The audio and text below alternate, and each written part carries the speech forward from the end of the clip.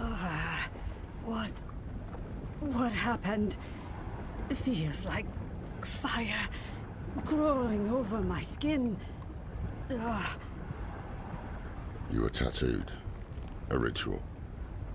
I... hear something. A voice in my head. Andariel.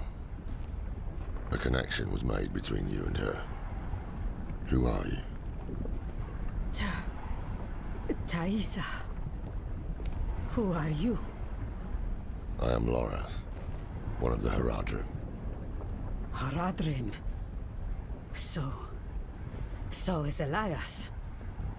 If he told you that, he was lying. I came to kill him. Thought I had, but the moment I looked away, he vanished. If he survived, he will have fled to his refuge. Refuge? He has a palace. Somewhere in the deserts of eastern Kehjistan. But that is all I know.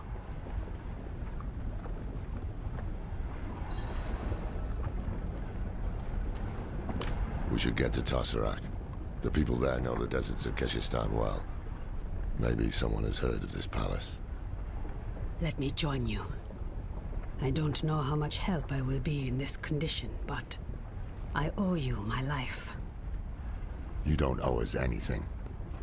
But you are welcome to come. You deserve vengeance too.